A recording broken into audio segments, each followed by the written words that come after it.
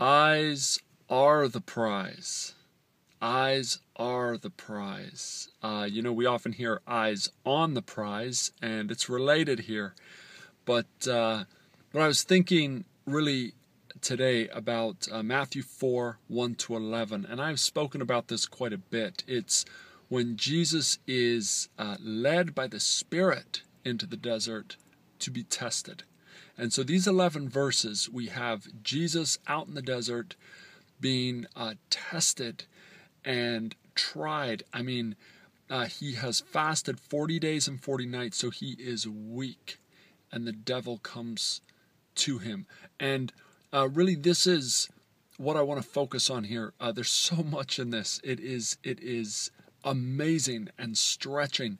But, you know, the devil comes to Jesus and uh, starts by questioning uh, his identity. That, that's his platform. He wants to shake his identity. Now, uh, he says, if you are the Son of God, you will, or will you. But he keeps prefacing his test by saying, if you are the Son of God. So it's like, prove to me now who you are. Now, honestly, the devil doesn't doubt that Jesus is the Son of God. That's precisely why the devil is attacking him. It's because the devil knows he's the Son of God. He needs no proof. And you know, your enemy and my enemy, the devil and people, uh, we were told in Ephesians 6, we wrestle not with flesh and blood. So at the end of the day, the enemy will always be the devil, even if it is in the face of or through people. And the devil will do to us what he did to Jesus. He will come after your identity. If you are truly a Christian, if you are truly a good person, if you are truly consistent with this and with that, you will, won't you? It's the same thing. You know, we're made in the image of God, Genesis 1:27. We have eternity in the hearts in our hearts, Ecclesiastes 3:11. And the enemy is convinced already about Christ in you, the hope of glory, Colossians 1:27. He doesn't need proof. He doesn't question your authenticity because he is honestly looking for proof or needs proof. He comes so that our eyes will be taken off the Lord and and we will look to him why? Well our pride is shaken now. He, he's questioning who i am. So i i'm gonna i'm gonna look at him and i'm gonna prove to him who i am. Well we start going through our mind and our heart and we start thinking about why it is we are what we are. Now the game's already over. We've taken our eyes off the lord off his report about who we are 2 Corinthians 5:17 Anyone who is in Christ, he is a new creation. The old is gone, the new is gone. We've taken our eyes off this. We are now looking at the enemy who is trying to get our attention. He's got our attention and now we start to address him. And when we do that, we we've already lost. We've taken our eyes off the Lord and we've put our eyes on the enemy. We go where our eyes go. That's why the title of this is The Eyes Are the Prize. Hebrews 11:6. Without faith it is impossible to please God. Jesus calls us to lift our eyes and to look to him all through scripture.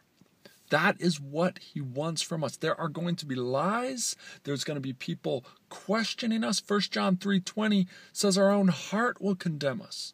Revelations 12:10 it says the devil himself is an accuser and he comes after us. So God knows that there's going to be winds and waves of accusation and challenge in our lives. And the test is do we get distracted and take our eyes off the prize and and give our eyes to someone else. And and you know, our eyes are the prize of God's. He wants us looking to him, listening to Him, not heeding the reports of others and looking to the left or to the right. Have you ever had a kid in your life or some friend and they're they're obsessed with someone else's report or someone else's accusation or someone else's threat and they might be with you but they're they're kind of looking this way. And you're trying to get their attention. You're like, "Don't look over there. Look here. Look here."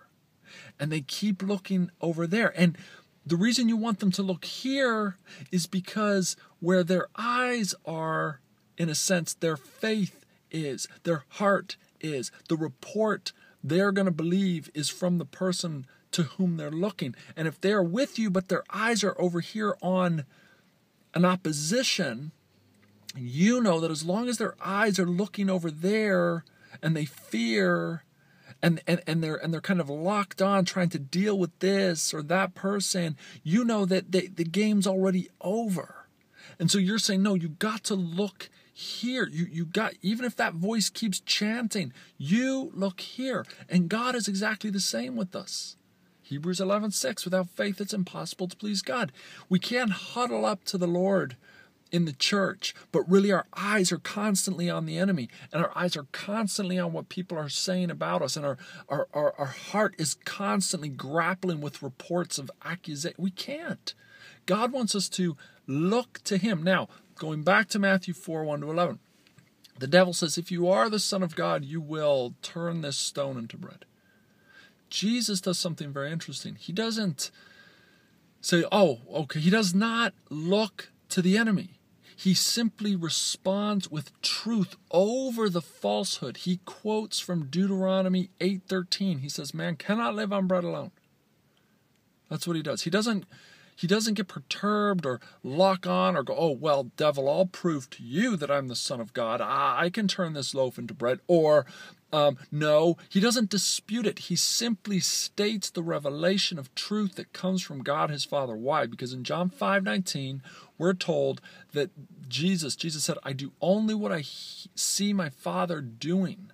And he keeps his eyes on the Lord. And the Lord will speak to untruthful situations, but he won't set his eyes on the accuser and and give in to their terms. So then the devil does it again. I mean, dark. He quotes from Psalm 91, 11 and 12. He quotes messianic, prophetic scripture to the Messiah. But Jesus still does not engage it or get perturbed by it. He, the devil leads him to a high place, and so much in there. Was Jesus tempted to try to get out of the journey that was ahead of him when he's at the highest point of the temple and the devil says, throw yourself down? I mean, what's the test there? What's the temptation there? Maybe Jesus had so much fear and despair about the journey of the cross that he was thinking, if I just end it all, you know, the devil says, Throw yourself. The angels will catch you, Jesus. Instead of this hard road God has for you, throw yourself off here. You're going to have a soft landing. It says in Psalm 91 11 to 12, the angels will catch you. And again, Jesus reaches for scripture and just speaks the truth of God over the devil, quoting Deuteronomy 6 16, do not test God. That's all he says. He doesn't go, Well, I truly am, and if I wanted to, I could, but the reason I don't is because, no. He simply hears what God is saying in this untruthful situation and speaks it over and through, cutting through like a knife the false report of the enemy.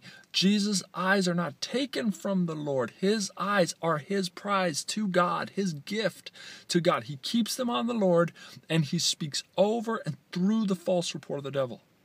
And then he does it again. Uh, the devil then shows his colors. He, he takes him again, shows him the land, and says, Just bow down and worship me. And I think this is fascinating. As Jesus continues to speak true report over and through the false report, but not giving the devil the satisfaction of getting off course or focusing on him, the devil finally shows his true colors. He says, Just bow down and worship me. And that's when Jesus says, he quotes Deuteronomy 6:13, you should worship only the Lord your God. And there's, there's victory. There's victory there. Keep your eyes on the Lord. It, it, it, it's your prize. Keep your eyes on the prize, your prize, but also your eyes on the Lord is your gift to the Lord. When the devil speaks, when temptation or accusation or threats or uh, you know come across your path don't look don't look to the enemy don't look to this face or that face or that relative or this friend don't don't don't even in your mind's eye, engage their face. Just keep it to the left. Keep your eyes on Jesus and smile and keep walking in truth and let God speak truth to you and you will not be deterred. The true you is in His hands. The true you is in His hands. And uh, uh, I think of Second, Second Timothy 2.19 and um, Galatians 2.20 and uh, a very powerful verse. I think it's 1 Corinthians 8 3. It's about God's love really on you and holding you. It's it's either 1 Corinthians 8 3 or 2 Corinthians 8 3. Those first three verses, powerful focus uh, that kind of frames up other issues. Um, God bless you.